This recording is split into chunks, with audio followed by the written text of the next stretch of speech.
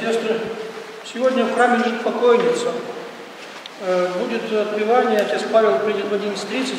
Сейчас мы поцелуем крест, послушаем благодарственные молитвы, потом послужим панихиду общую за усопших, которых упоминаете вы регулярно. А потом, если у кого-нибудь будет время из вас и желание, то вы можете остаться на погребении человека, которого вы не знаете, и с которым чай не пили и пуд соли не съели, но, тем не менее, вот видите его сегодня последний раз, вот он здесь находится в храме, тело где-то душа здесь бодрствует возле своей, возле своей плоти, э, слушает службу.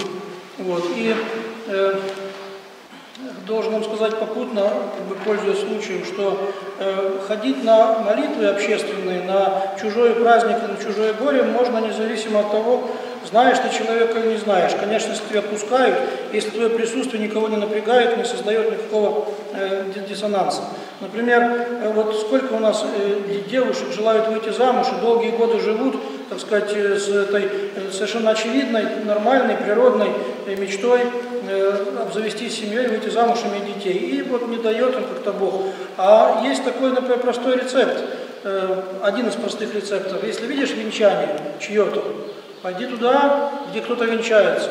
Тому, пойди к тем, кому Бог дал э, радость встречи и кого Бог скрепляет узами брака, э, и помолись там за них. То есть поучаствуй в чужой, в чужой радости. Стань в уголочке и там слышишь имена этих жениха с невестой, и радостью порадуйся с ними, порадуйся за чужую радость. Как есть такое правило, апостол Павел говорит, с радующимися радуйтесь, с плачущими плачьте. Это совершенно простые слова, которые не так легко исполнить, потому что сердце, сердце человеческое злое, и человеку гораздо легче получается с плачущими радоваться, а с э, радующимися плакать. Плакать от зависти, когда радуется кто-то, и радоваться от злорадства, когда плачет кто-то. Э, попробуй скажи, что у тебя этого нет. может быть не так явно, оно у каждого человека. Нужно быть совсем уж злодеем, чтобы хохотать возле чужих слез. Такого нету. Но есть некая тайная радость от чужих несчастий. Человеку хочется возвысить себя на фоне чужой чужой беды. Человеку хочется как бы почувствовать, что у меня еще не так все плохо, у этих хуже. Слава тебе, Господи. Как, как доктор в анекдоте. Или слава Богу, слава Богу, или что слава Богу, что у меня такого нет. Больного проверяют, понимаете? Поэтому э, простейшие законы Божии, они тяжелейшим образом исполняются, потому что человек заражен и прокажен, человек болен, у человека больное сердце. И самые простые вещи человеку даются с большим трудом. И вот одна из таких простых вещей – это с радующимися радоваться. Я вас призываю к тому, чтобы вы не приходили мимо чужих венчаний, в особенности не женатые и не замужние, э, чтобы вы, те, кто желает, конечно, в брак вступить, чтобы вы подключали свою душу к, чужой, к чужому торжеству, молились Богу о них, стояли где-нибудь, повторяю, в уголочке.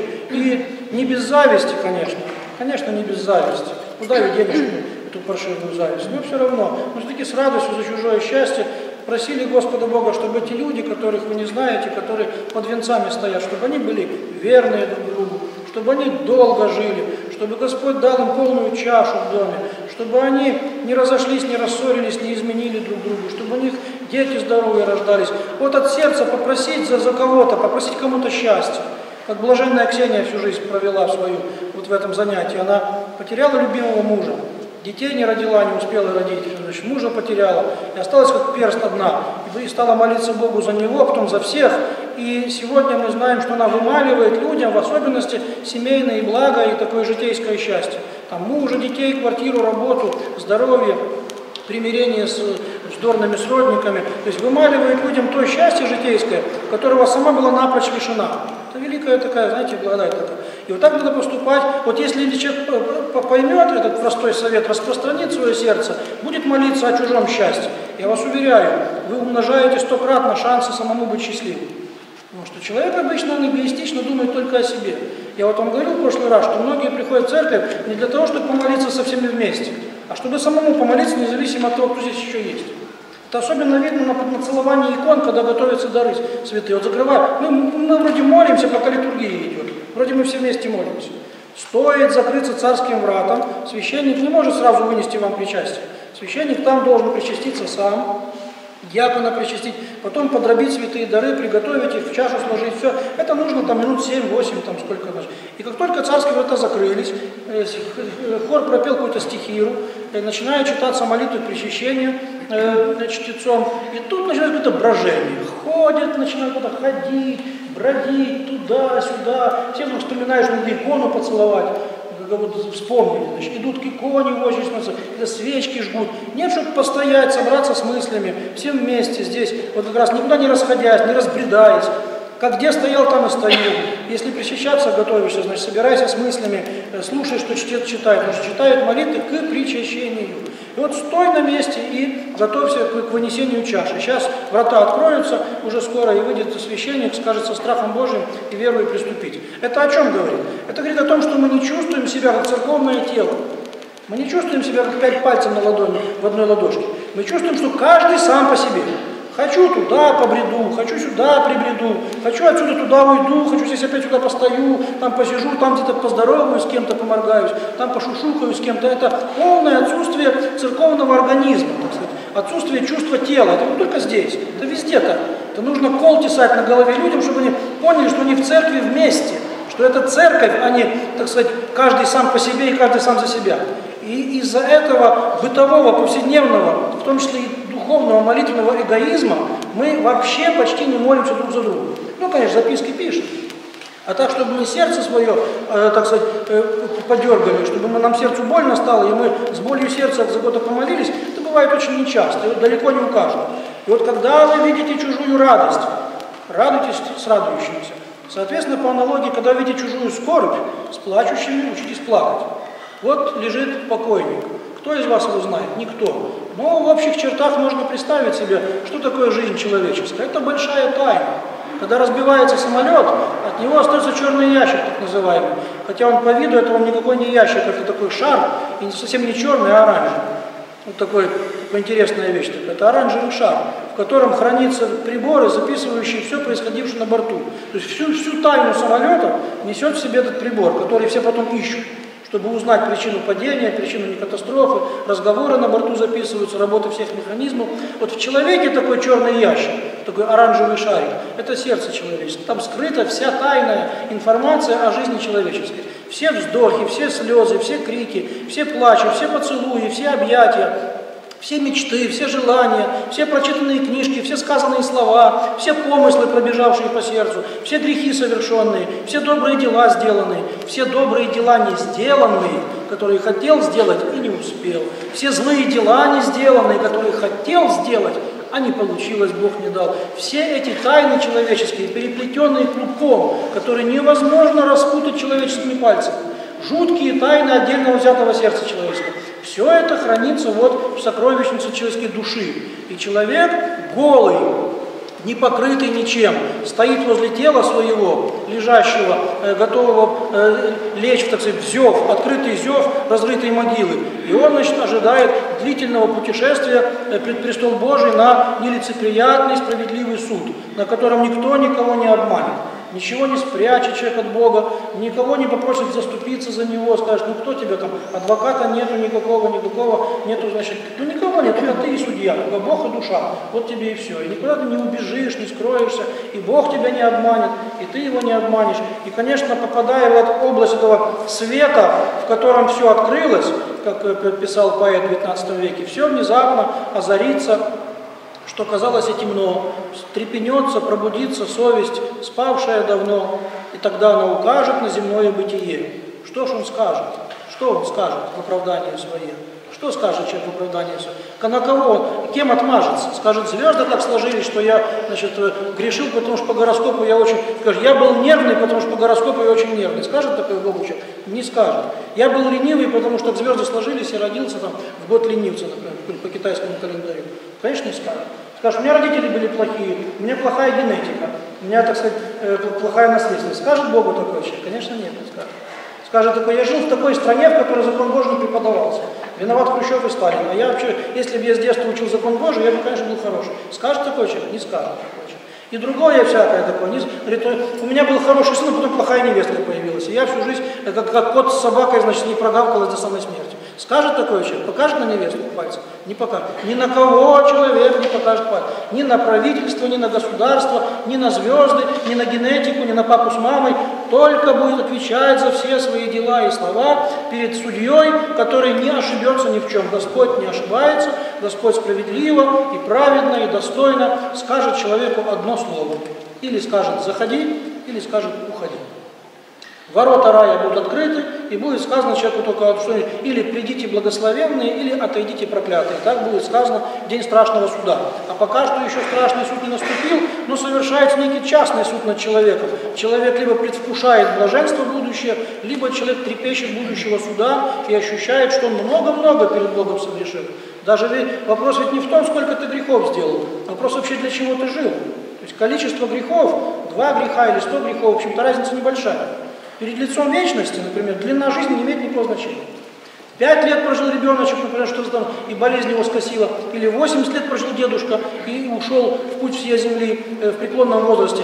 80 и 5 перед вечностью – это одинаковая песчинка. Это ничего не значит совершенно. 100 грехов человек сделал или 3 греха, 1000 грехов или 120 грехов. В этом нет никакой разницы, одно и то же. Грех есть грех, и все равно он пятнает душу, и здесь количество ничего не решает. А вопрос в том, для чего ты жил, куда ты стремился, кого ты любил, куда было положено сердце твое, в чем была святость жизни твоей, так сказать, внутреннее наполнение твоей жизни. То есть хотел ли ты Богу угодить, трудился ли ты над тем, чтобы лучше стать, упражнялся ли ты в заповедях Христовых, как мы сегодня в Евангелии э, читали. Э, имеющий заповеди мои и соблюдающий их, то и есть любяй мя.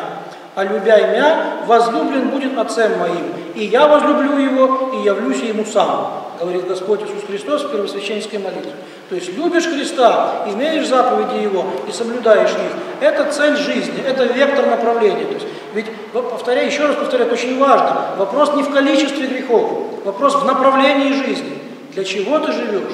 Куда ты идешь? Во что ты веришь? Кого ты любишь? Что для тебя свято? Что для тебя цель жизни? В этом самое главное. Остальное это все мелочь, остальное это бухгалтерия. И я вас уверяю, что Бог не бухгалтер. Он не будет подсчитывать там какие-то эти все, понимаешь, листать эти книжки, значит, и там э, всех этих наших блох высчитывать. Не надо это совершенно. Все будет понятно в одну секунду. Вот только глянь на человека и все ясно. Кто ты и куда ты? Ты овца или ты козел? Или тебе направо, или тебе налево. Там не нужно волосы, все, все волосы на козле посчитать. Или все, все завитушки, значит, на, на баранчике посчитать. Не надо этого. Не надо мелочиться. Сразу видно козла и овечку. И это будет сразу все видно. И вот когда это все на, к нам придет, пока оно придет, нам нужно уже думать об этом, а уже кому-то пришло. Вот пришло к Рабе Божьей Александре, вот лежит ее тело, где-то здесь находится ее душа, возможно, слышит все, что мы говорим, в том числе и про нее. И когда человек знаете, как на кладбищах раньше писали, может быть, вы видели э, такие надписи, от, от лица покойников к живым. Мы были такие, как вы, а вы будете такие, как мы. Вот. Почему на кладбище так полезно ходить? Потому что это такая книга жизни развернутая. И там между могилок походишь, побродишь, например, обидел тебя кто-нибудь, пойди погуляй по кладбищу. Вернешься с кладбища, а обиды как не бывало. Или, например, там что-нибудь у тебя там, ну, денег не хватает, там, или начальник накричал, или там дети тебя обижают, или, или там со здоровьем не лады, или там надо зубы вставлять, а денег нету. Ну, мало чего бывает в жизни. Пойди погуляй по кладбищу.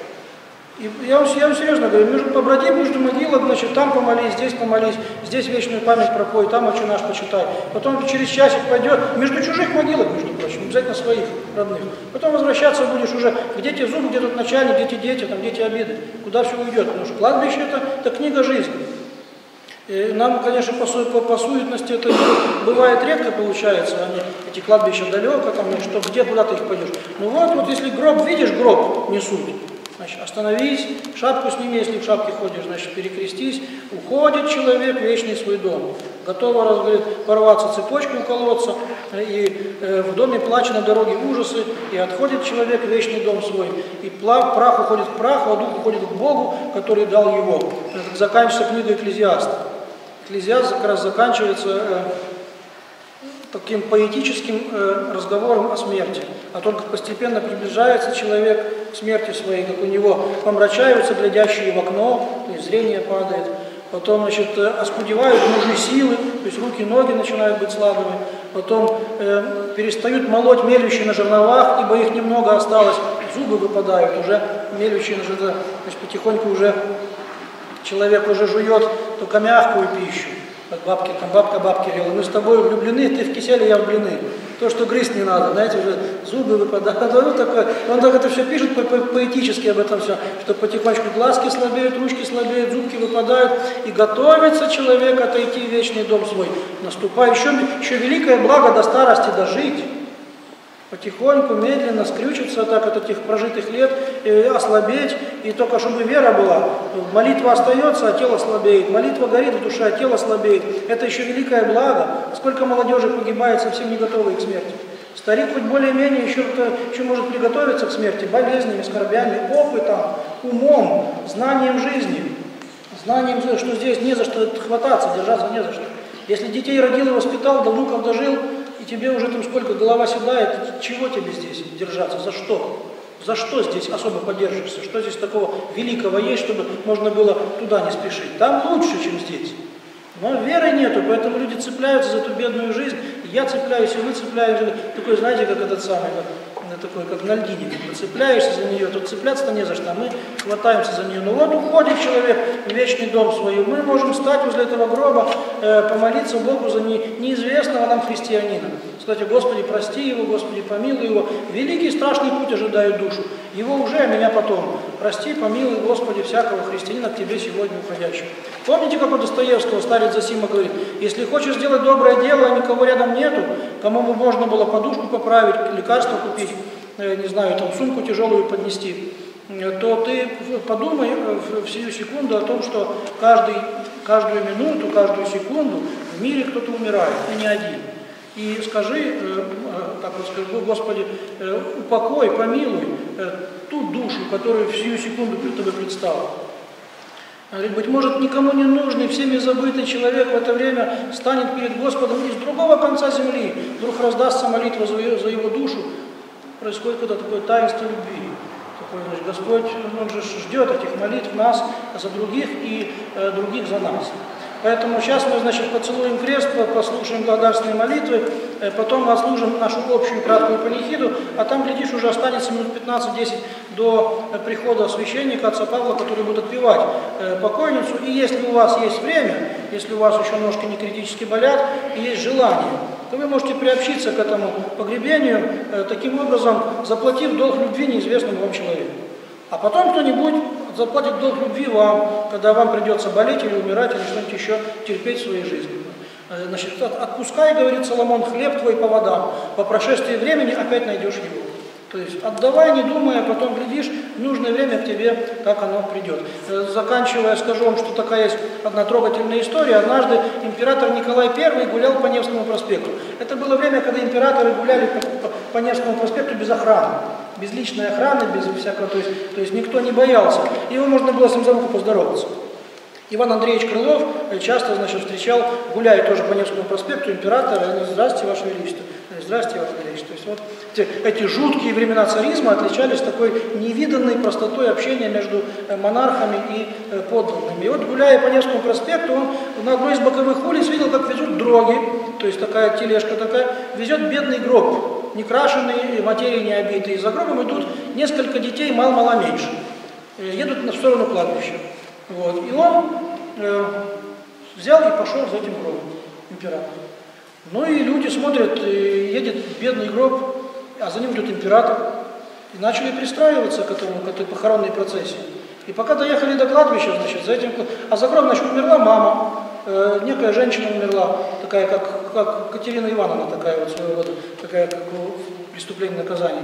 Оставила по себе целую поросль, там, трех-четырех ребятишек, бедных, без отца, без, значит, э, такие, ну, ну, сироты, словом. И вот, что печальнее может быть на свете, чем такие похороны. И они за ней идут, и там могильчики везет. Император пошел за гробом. Потом, значит, люди, повторяю, пристроились один за другим, и в конце концов до кладбища доехала огромная процессия людей. Э, священник отпел литию, э, бедное тело женщины опустили в землю, стали зарывать. Император снял там какой-то малыш, с малыша картуз и бросил туда какую-то ассигнацию. Люди стали подходить и бросать туда в картуз, по примеру Его Величества, тоже ассигнации. Значит, э, денег, э, собранных таким образом на кладбище, на погребении этой, этой бедной женщины, этим детям хватило, чтобы им жить до совершеннолетия. Значит, там был назначен им опекун, чтобы деньги эти не пропали, чтобы детей не обманули. Значит, у них были улучшены квартирные условия, они стали там, могли позволить себе учиться и так далее. И они выросли и поднялись и так далее. То есть вот такие, такие вот такие сладкие страницы тяжелой истории. То есть э, история мира тяжела, что мы живем в мире, пораженном грехом и злобой, и грех и злоба всегда будут в мире, и до конца истребить их ни у кого не получится. Но Христос дал нам возможность жить по-другому. Кто хочет, может жить по-другому. И вот такие истории, они показывают нам, как свет Евангелия сияет среди бедности, среди несчастья, среди безутешного горя, среди прочих-прочих бед. Там, где есть сострадание и молитва, там не все потеряно, там жизнь продолжается. Там, где нет сострадания и молитвы, там жизнь гаснет. Там жизнь теряет вкус, и жить там не хочется. То есть э, вы, наверное, знаете по себе, что многие люди просто жить не хотят. Вот не хотят просто, потому что жизнь у них стала пресной, безвкусной, как будто свет погас. Вот. Это потому, что погасло сострадание, погасла молитва, исчез всякий смысл из земного бытия. Смысл в земном бытии есть только тогда, когда есть молитва, сострадание, любовь и надежда на вечную жизнь, в которой отбежит болезнь, печаль и воздыхание. Наступит жизнь бесконечная. Мы туда движемся, мы крепко верим в это. И сердце наше должно предвкушать будущую жизнь, прикасаться к ней. Сердцем можно прикоснуться к будущей жизни и с уверенностью сказать, верую в вечность, верую в бессмертие, верую в вечное царство, в небесный Иерусалим, верую в воскресшего Христа и в те блага, которые Он обещал всем любящим Его. Аминь. Целуйте крест, слушайте молитвы благодарственные и с Богом, там уже сейчас, да, сейчас панихидка, потом, потом как уже это у вас получается. Слава тебе, Боже! Слава тебе!